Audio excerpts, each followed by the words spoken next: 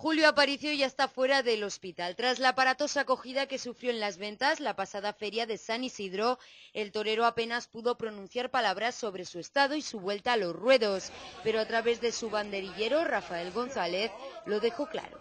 Tanto su aspecto físico como anímico es extraordinario. Evidentemente las heridas ahora hay que sanarlas, hay que curarlas.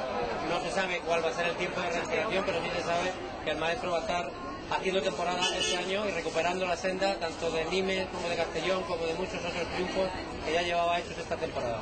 Y por supuesto que este año el maestro Aparicio lo vamos a volver a ver, Con este gesto al cielo, el maestro dejaba claro que su pronta recuperación ha sido fruto de un milagro, algo que no se cansa tampoco de repetir su apoderado, Simón Casas, que poco antes confesaba que esta acogida iba a marcar un gran cambio. Eh, con unos días de recuperación física y psicológica, pues habrá un aparicio importante, que ya lo es como torero, pero como hombre va a haber un antes y un después de la jornada de mañana.